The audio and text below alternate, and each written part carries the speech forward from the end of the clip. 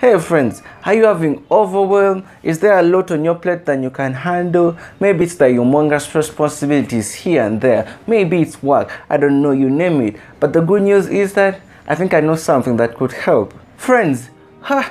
2020, the year of our Lord, has been a year full of challenges. The good thing it's not yet done, so we keep hopeful that the better days are ahead. But it has been a year full of challenges for many people than usual. You might be part of them or not, but for many it's inevitable they are under overwhelmed. They have been overwhelmed by the heavy load, by the pressures to sort many things up, ladies and gentlemen, by the responsibilities that many have to oversee and so on. Yes, families have lost loved ones. Many have lost them to coronavirus. May their soul rest in peace. Many have lost loved ones in the rampant riots here and there, ladies and gentlemen. Many businesses have shuttered during the long COVID 19 pause. Economies have suffered deep wounds, ladies and gentlemen. And many, many other things have happened, as we all know. But there is this something that I learned from Flavia Tumusiime. Flavia Tumusiime Kabura. You can check out her channel. She has amazing vlogs and life experiences. But this was the formula you automate,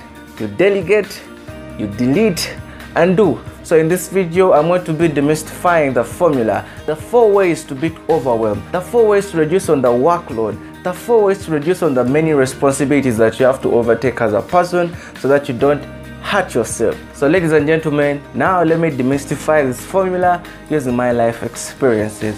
Are you ready? Get your pens out and your books. We're gonna make some notes. Let's come back.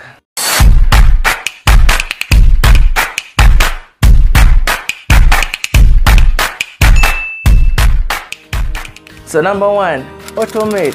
Just like I said, my experience. You also have your experience where you're going to apply it. So friends overseas, you see here in Africa, in our African culture, the kids in our home, they do chores. You see that? Chores like cooking, doing laundry, um, washing utensils and all that, cleaning the compound and all that. And ever since this COVID-19 thing happened, ladies and gentlemen, many of us have been at home for the bigger percentage of the period.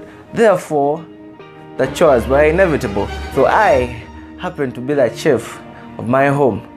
For all these months that we have been having, I've always been the one cooking. And ladies and gentlemen, let me tell you, there are days when I have to shoot our YouTube videos and also go grocery shopping, at the same time come back and cook, and then plan the meals, meal planning and all that. Honestly, it was too much on me. It was a heavy load. I was supposed to do all those things at the same time. But guess what? This is what we did. We decided to automate the some things that could be automated. What do I mean?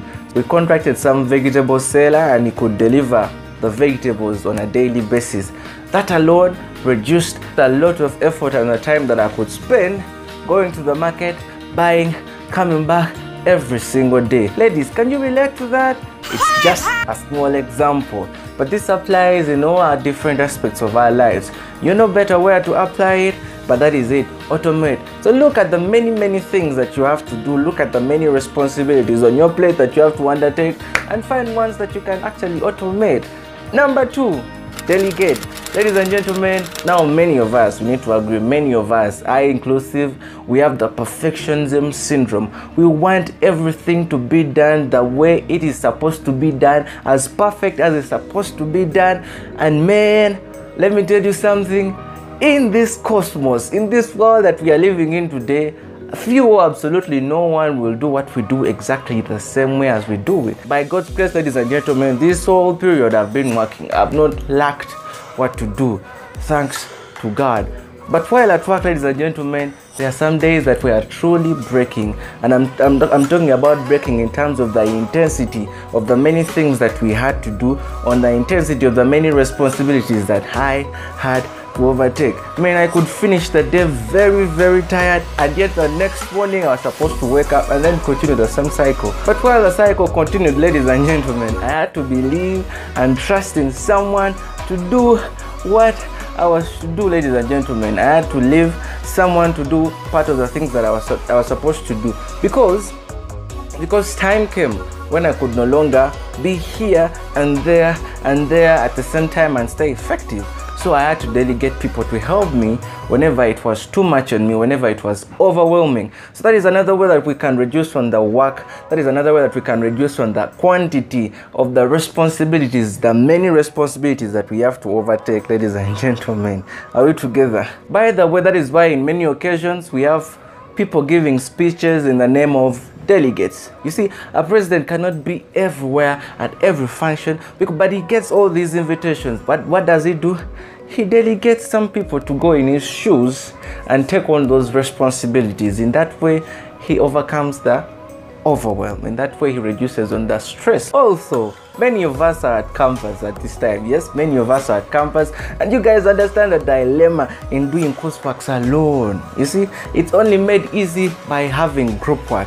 And by group work, I mean you're going to delegate Simon to go and make research about topic A, you're going to delegate Isaac to go and make research about topic B, you're going to delegate Bonita, you're going to delegate all these different people in the group so that we get work and then compile as a group and we compile one final thing. In that way, that stress is reduced. We reduce on the overwhelm. Are we together? So, friend, really get someone. Believe and trust someone to have your responsibilities lightened. Together is better. You see that? Now, number three, delete.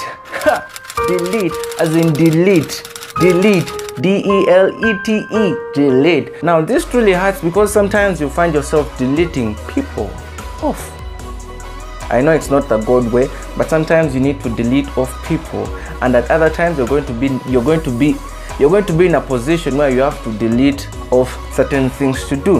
What am I trying to talk about? Now, ladies and gentlemen, the issue here is not about accomplishing very many tasks. No, it's about staying productive. It's about staying happy. It's about staying you healthy mentally, physically, and emotionally, ladies and gentlemen. Now, critically look through the, the to do list. Critically look through your to do list and look at those things that you could actually take off that are taking most of your time but they're not more productive, that are taking most of your time, but they're not earning you nothing, that are taking most of your time and they're not even adding to your growth of the, and they're not even adding to the growth of your brand, growth of your business, or even yourself. And yes, there are people too that we ought to delete. Why? Because of their attitudes, because of their thinking, because of their ambitions, because of their goals, because of their targets, because of the vision, the short sightedness, ladies and gentlemen. Time is so precious that you don't have to waste it on people that are only